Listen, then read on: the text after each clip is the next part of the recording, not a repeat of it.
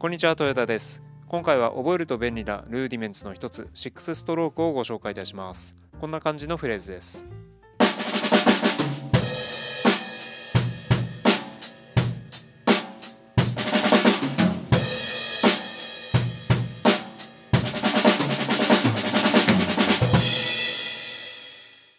こかで聞いたことがあるようなフレーズではないでしょうか。シングルストロークとダブルストロークの組み合わせなので少し難しく感じるかもしれませんがダブルストロークってこういう時に便利だよ使えるよといったことが伝われば幸いです。ではやっていきましょう。まずは基本の手順です。右手1打に次は左手2打。右手2打。で最後に左手1打ですね。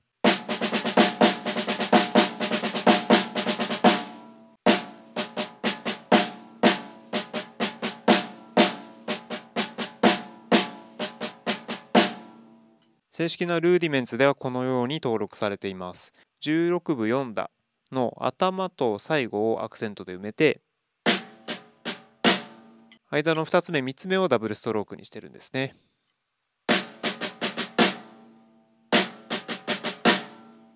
ではダブルストロークなしで基本となるリズムを確認してみましょう。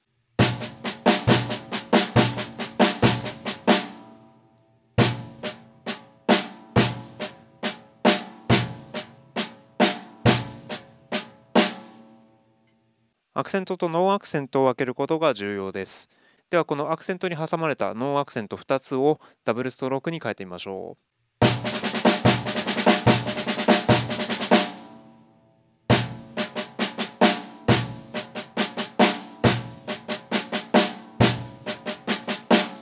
もうこれだけで完成ですね。正式なルーディメンツでは初めに出てきた譜面のように譜面左のようになります。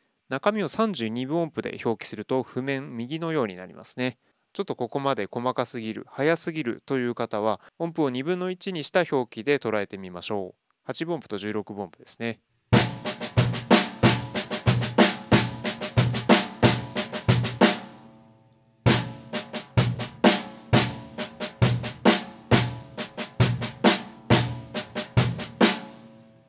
ゆっくりから確認してだんだんとテンポを上げていきましょう。それでは6ストロークをフィルインとして使ってみましょう。今回は例として後ろにタカトンを加えています。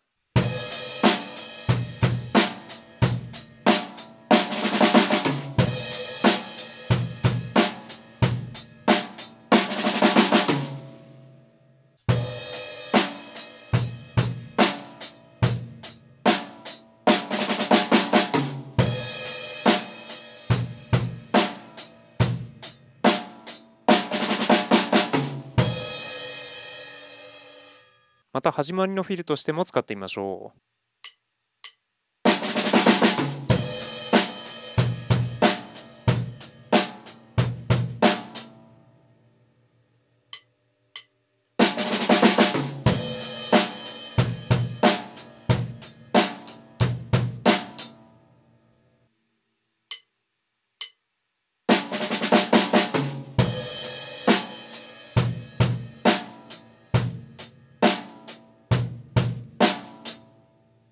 こんな感じのもどこかで聞いたことがあるのではないでしょうか。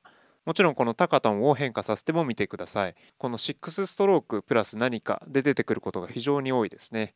ではこの6ストローク1つの中でタムやシンバルに割り振るオーケストレーションすることでどんな効果が得られるか聞いてみましょう。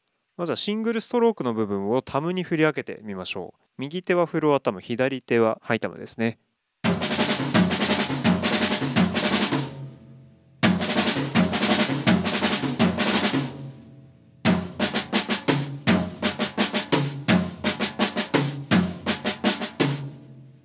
次はダブルストロークの部分をタムに振り分けてみます。同じく右手はフロア、左手はハイタムに振り分けています。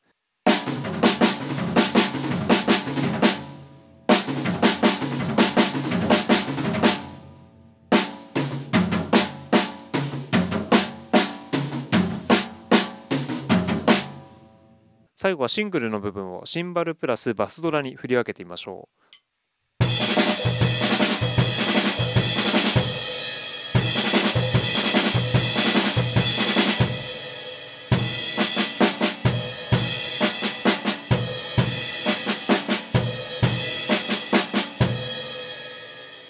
いかがでしょうか？結構派手な感じになってきましたよね。フィルの一部としてはもちろんドラムソロの時などにもよく出てきますね。ここで大切なのは他の楽器に移動オーケストレーションしても元のリズムが崩れないことがポイントです。では今度はビートに入れてみましょう。振り分けるのはハイハットとスネアドラムです。例として2種類プレイしてみます。1つ目はビートの1拍目から使っています。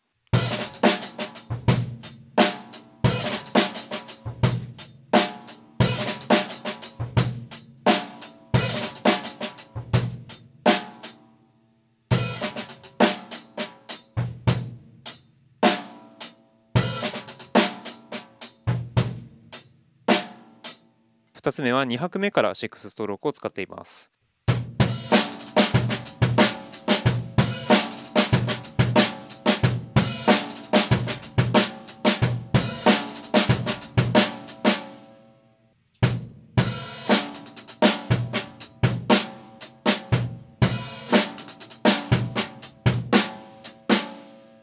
使いすぎるとちょっと鬱陶しいですがパッと出てくるとかっこいいですよね。あくまでも今回は僕が考えた例ですがファンクフュージョン現代のポップスでもこんな感じでよく出てきます。始める位置によって印象が変わりますね。この他にも様々なところにオーケストレーションできますのでぜひお試しください。では次からは後半戦です。今度はこれを3連形に当てはめてみましょう。こんな感じです。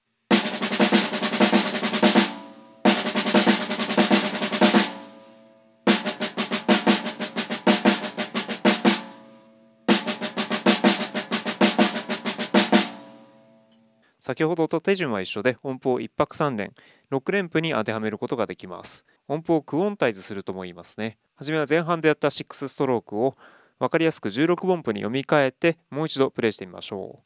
前半の6ストロークが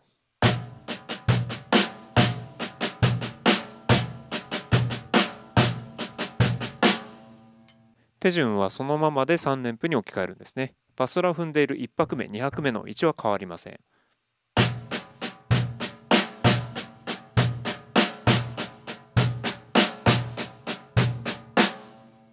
ではこれを倍の音符でもやってみましょう。元の6ストロークは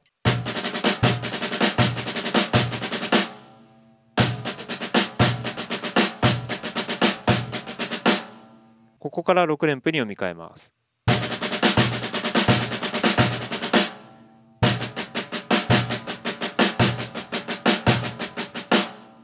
こちらの方が等間隔でつながっているのでより滑らかな感じですよね。最初の6ストロークは頭で止めて裏からこう前に押し出すような感じですよね。バウンスしたビート、スイングやファンクなどで多く聞かれる使いやすいのですが、跳ねないイーブンなビートでもよく出てきます。それではこれもフィルインとして使ってみましょう。組み合わせの例として最後に再びタカトンを入れています。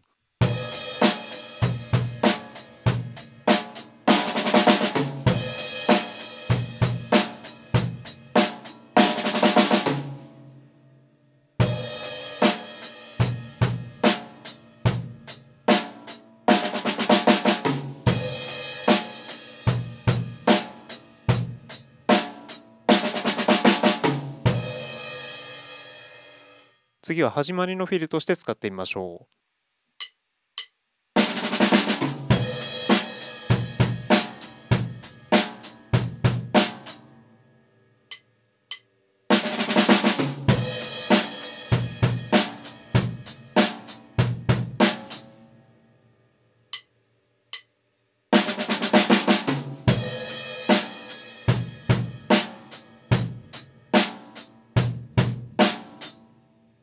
先ほどと同じ感じの手順ですがやはりこちらの方が少し滑らかな感じですね。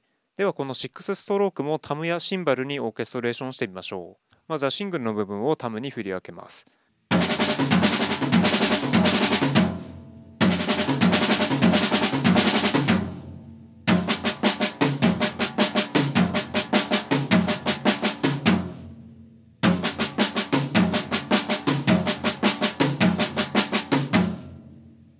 次はダブルストロークをタムに振り分けます。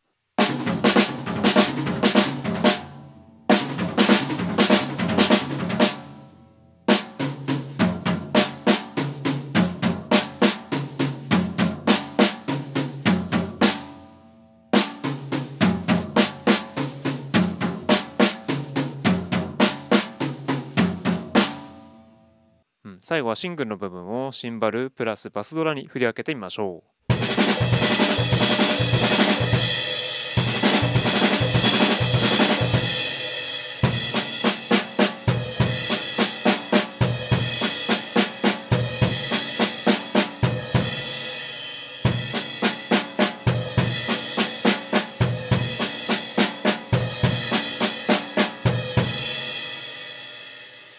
しょうか？初めの6ストロークよりつながっている感じがやはり強いですね。もちろん同じようにフィルとしていろんなところに移動してドラムソロでも使いやすいです。では例として1小節かけて6ストロークをさまざまなところで打ってみるとこんな感じです。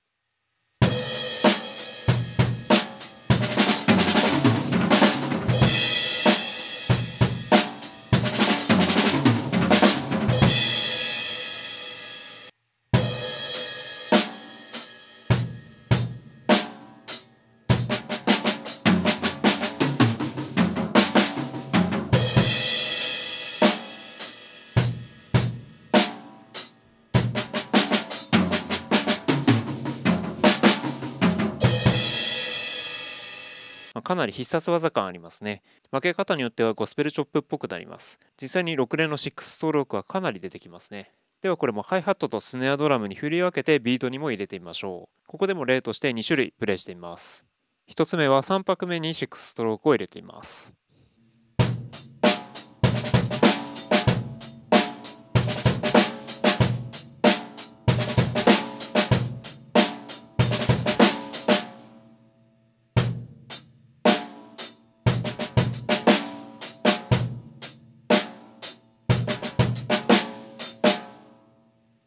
2つ目は6ストロークで通したビートです。